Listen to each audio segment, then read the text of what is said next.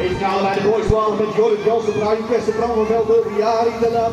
Justin Giesek om een dansspieringsman uit Anderzooi is het eh, vooraan. En niemand minder dan uh, Jorrit Jansen met de 102 platen die hier als eerste uh, mijn stukje voorbij komt. Maar wordt uh, in de hier gezeten door Bram van. Oh, maar die krijgt dadelijk dat voor die laatste. Oh, dat gaat even helemaal mis. En daar zijn een paar mensen behoorlijk gekwetst. En is het de 101 plaat van Brian Kester die daarvan profiteert. En waarschijnlijk deze B-finale dan ons vanavond gaat zetten. Uh, dan hebben we Amazon op die tweede plek. Is de 893 van Daan Spierings. Op 3 zien wij dan de 824 van Justin Giesenkamp. En er zit heel veel werk van Joram Jansen en Brian gaat het goed mannen. En zien jullie volgende keer weer terug.